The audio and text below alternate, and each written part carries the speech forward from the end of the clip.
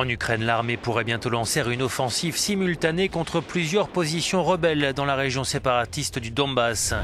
Pendant ce temps, les combats se poursuivent autour des principaux bastions pro-russes de Donetsk et Luhansk, les deux villes étant désormais totalement isolées l'une de l'autre selon les troupes gouvernementales.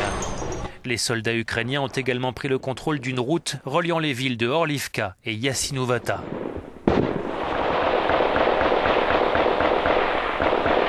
Ces combats qui font rage depuis 4 mois dans l'Est ont déjà fait plus de 550 morts et quelques 2000 blessés dans les rangs des soldats ukrainiens.